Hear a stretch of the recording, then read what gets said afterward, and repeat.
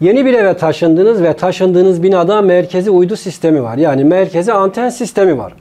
Daha önce şıkır şıkır çalışan televizyonunuzu ya da uydu alıcınızı götürüp yeni sisteme bağladınız. Ekranda kocaman bir sinyal yok yazısı var. Usta tıkır tıkır olmasın o. Kafa karıştırma şimdi Reci. Şıkır şıkırı.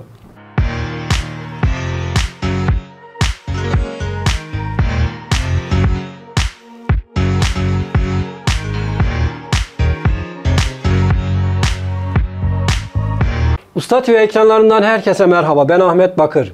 Bu videomuzda merkezi uydu sistemlerine yeni bağlanan televizyonlardaki sinyal yok probleminin çözümünü anlatacağım. Binanızda merkezi uydu sistemi varsa şu anda ekranda gördüğünüz gibi uydu santrali vardır. Teknik ismi bunların multi switch'tir. Bununla ilgili de videomuz var. Şu anda ekran üstüne gelen linke tıklayarak da izleyebilirsiniz. Büyük ihtimalle diyorum çünkü daire sayısının az olduğu yerlerde bazen multi switch yani bu santraller kullanılmaz. Onun yerine de dörtlü ya da sekizli elembiler kullanılabilir. Eğer çift çanak kullanılmışsa mantık aynıdır. En azından sizi ilgilendiren kısmı aynıdır. Evet evimizi taşıdık ve televizyonumuzu getirip merkezi sisteme bağladık. Biraz önce dediğimiz gibi sinyal yok yazısını da ekranda gördük. Yapmamız gereken ilk şey Dayzek ayarlarını kontrol etmemizdir. Çünkü daha önce kullandığınız yerde tek çanak anten varsa ya da Dayzek ayarları farklı yapılmışsa büyük ihtimalle Dayzek ayarı kapalıdır ya da işte Dayzek ayarı tam değildir. O zaman sinyal yok yazısını görmeniz gayet normaldir. Uydu alıcınızda ya da dahili uydusu olan televizyonunuzda kurulum menüsüne girerek tabi bu menü kısımları değişiyor. Yani televizyonun markasına göre, modeline göre hatta versiyonuna göre farklılık gösterebilir kullandığınız cihazın. Ama usta hepsinin an- mantığı aynı değil mi? Hepsinin mantığı aynı. Yalnız o Dayzek ayarı denilen yeri farklı yerlere gizlemişler menüde. Yani anten ayarı veya kurulum menüsünün haricinde başka bir menünün içinde de bu anten ayarı, sistem ayarı, çanak ayarı, LNB ayarlarını görebilirsiniz. Çok farklı şekillerde kaydedilmiş olabilir bunlar. Yani usta korkmadan menülere girip kontrol etmemiz mi gerekiyor? Kesinlikle bu arada şimdi Dayzek demişken Dayzek'in ne olduğunu anlatalım. Şöyle bir Dayzek ayırmıştım buraya. Bir de LNB bunları bilmemiz gerekiyor. Dayzek tek kablo ile LNB'ler arasında iki veya daha fazla LNB'ler arasında geçiş yapmayı sağlayan elektronik anahtardır. Şimdi diyeceksiniz ki Dayzek ile merkezi sistem santralinin yani multi switch'in ne alakası var? Multi switch'ler Dayzek'lerle aynı mantıkta çalışır. Bunun sadece büyütülmüş ve genişletilmiş halini düşünebilirsiniz. Şimdi buraya kadar anlaşıldı. Televizyonumuzu kurduk. Hatta kurulum menüsünden LNB ayarını ya da Dayzek ayarlarını bulduk. Peki hangi ayarı seçmeliyiz? Dayzek ayarından eğer Dayzek kapalı konumdaysa önce bunu açmanız gerekiyor. Türkiye'de genelde Dayzek 1'e ya da santrallerdeki birinci girişe veya A girişine birinci giriş ya da A girişi olarak adlandırılabilir. Birinci girişe TürkSat bağlanır ama bunun bir mecburiyeti yok. Genellikle böyle bağlanır. İkinciye de yabancı uyduların çanak anteni bağlanır. Hotbird ya da Astra bağlanır. Veya başka uydu da bağlanmış olabilir. Yine dediğim gibi bunun bir standartı yok. İşte bunun için televizyonumuzun ya da uydu alıcımızın Dayzek ayarından Dayzek 1'i seçmemiz gerekiyor TürkSat için. Deneyeceğiz. Olmazsa Dayzek 2'yi seçmemiz gerekiyor. Bazı uyducular özellikle uyducu çağrılsın diye biraz uyanıklık yapıyorlar. Ne yapsınlar adamların ekmek parası. Ee, TürkSat'a TürkSat'ı 2 numaralı girişe bağlıyorlar. B'ye bağlıyorlar. 1 numaralı girişe de A bağlanıyor. Siz e, başka bir merkezi sistem yer olan yerden taşınmış olsanız bile taktığınızda direkt çalışmayacaktır. Ee, ekranda kalite çizgisini görürsünüz. Pardon sinyal seviye çizgisini görürsünüz ama sinyal kalite çizgisini göremezsiniz. Onun için Dayzek ayarlarında Dayzek 1, Dayzek 2 gerekirse Dayzek 3 falan bunları denemeniz gerekiyor. Usta üçkağıtçılık yaparak ekmek parası mı olur? O nasıl iş ya? Çorba parası olsun o zaman. Bir zamanlar vardı ya at bir çorba parası falan. Anladım. Bunları denemenize rağmen sinyal seviye çizgisi bir değer gösteriyor. Yani %60, %70 kablonuzun kalitesine göre. Ama sinyal kalite sıfır gösteriyorsa başka bir ihtimal daha var. Bu ihtimalde dairenizde daha önce Dijitürk kullanılmış olmasıdır. Şimdi Dijitürk sinyali santral üzerinden geçebiliyor. Bu şekilde kullanılıyor. Ama kabloların ya da sinyalin zayıf olduğu durumlarda Dijitürkçüler geliyor. Sizin dairenizin kablosunu yukarıdan buluyorlar ve santralden çıkarıp Dijitürk'ün splitter'ına direkt bağlıyorlar. Hatta daireye girdiğimiz zaman biz kabloya direkt bakıyoruz. Dijitürkçülerin kullandığı F konnektörler var. Sayın Reji hemen bir gösterelim. Evet böyle bir konnektör görmüşseniz büyük ihtimalle o dairede Dijitürk kullanılmıştır. Normal konnektörü gösterelim. Evet bu da normal uyducuların kullandığı F konnektörler. Dediğim gibi Dijitürkçülerin kullandığı F konnektör varsa zaten direkt şüphelenmeniz gerekiyor. Ama Dizek ayarlarını yaptıktan sonra. Daha sonra böyle bir problem varsa Dijitürk kullanmıyorsanız tabi Dijitürk sinyali geldiği için işinize yaramayacaktır. Dijitürk dağıtıcısından şu anda splitter ekrana geldi. Santralin yanında böyle bir splitter vardır. Kablonuzu bulup buradan çıkarıp santrale takabilirsiniz. Bütün bunları kontrol ettiğiniz halde sinyal alamadınız diyelim ki. Ya da çok az sinyal aldınız. İşte e, bazı kanallar çıkıyor, bazı kanallar çıkmıyor. Eğer böyle bir durum varsa santralin sizin daireye gelen çıkışı bozulmuş olabilir. Şöyle göstereyim. Şöyle uydu santrali var. Burada üst tarafta girişler var.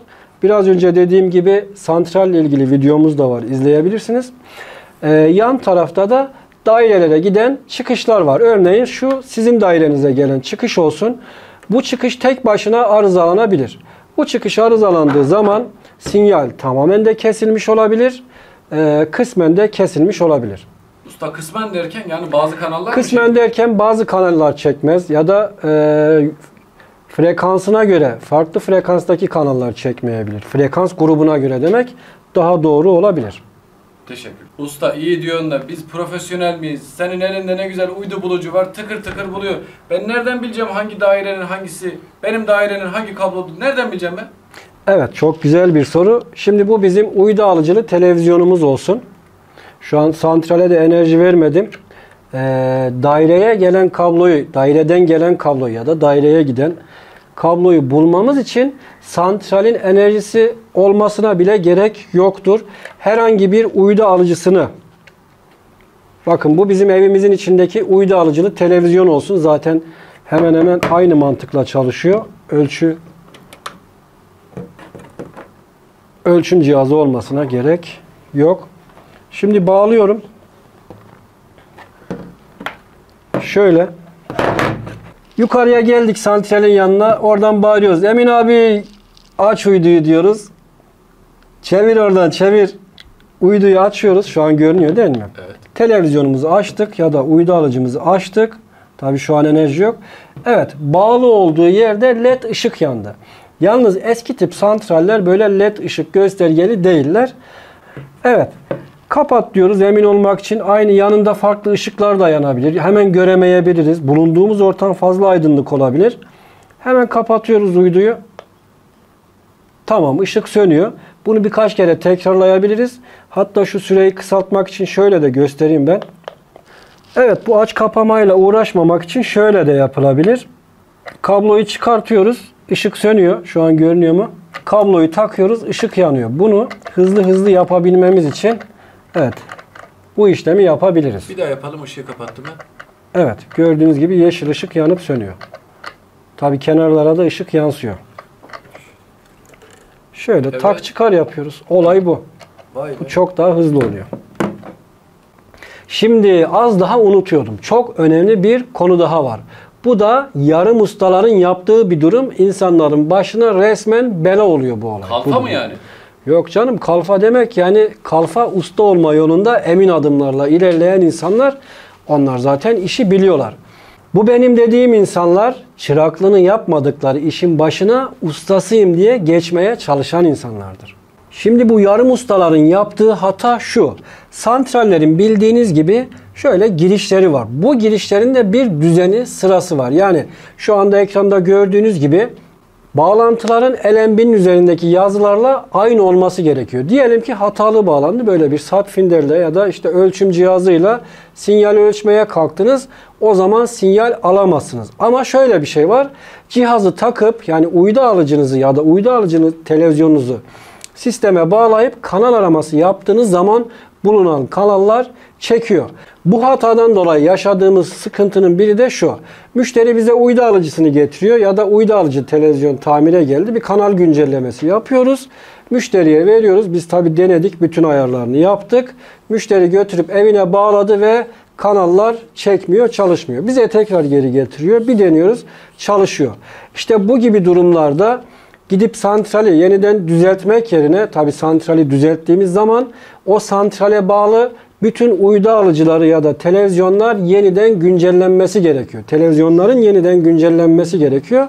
Ya da işte sizin uydu alıcınızı oradaki sistemde kanal araması yapmanız gerekiyor.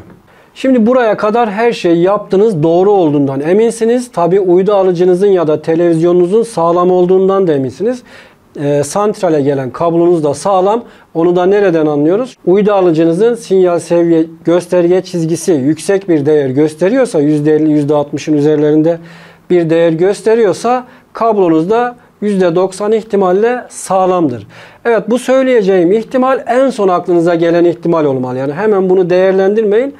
Bu ihtimal de santralinizin kilitli port özelliğinin olmasıdır. Santralinizin port kilitleme özelliği varsa böyle bir yazı ya da ikon, işaret görebilirsiniz. Usta bir saattir teorik teorik bitirdin bizi. Şu sinyal yok yazısını bir gider de bir görsün millet Evet, ya. teorik şart çünkü mesleğe yeni başlayan uyducu arkadaşlarımız da bunu izleyecektir. Hemen son kullanıcı için de gösterelim. Yani vatandaşlarımız için de gösterelim. Evet, kumandamız üzerinden bu uydu alıcılı bir kumanda değil, şey televizyon değil.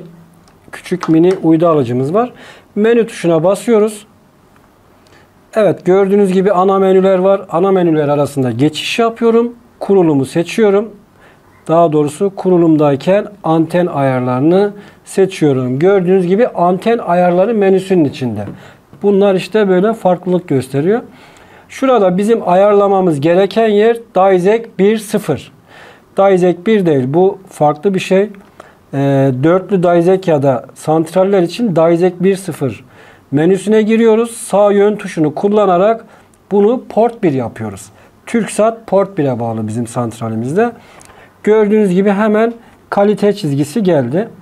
Diğerlerine de bakabilir miyiz? Başka ne gelecek? Port 2'ye falan bakınca. Port 2'yi biz boş bıraktık. Şu anda port 2 boş olduğu için e, kablo bağlantısını gösteriyor ama sinyal kalitesi yok. Port 3'e de Peki bakabiliriz. port 2'de başka bir çanak anten bağlı olmuş olsaydı kalite Olmuş olsa mıydı? kalite çıkmayacaktı. Yine aynı şeyi görecektik. Evet port 1 yapıyoruz. Sinyal kalitesi geliyor. Exit tuşuna basıyoruz. Bazı cihazlarda hemen gelmeyebilir.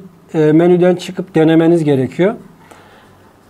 Evet çıkış yapıyoruz. Şu anda sinyali görüyoruz. İyi de usta. Senin ne güzel her şeyin ayarlıydı. Ben bu ayarı bulacağım diye her şeyi sildim karıştırdım. O zaman nasıl olacak bu iş? Evet kanalları ya da TP değerlerini o frekansları sildiyseniz eğer yeniden kanal araması yapmanız gerekiyor. Kanal arama videolarımız var.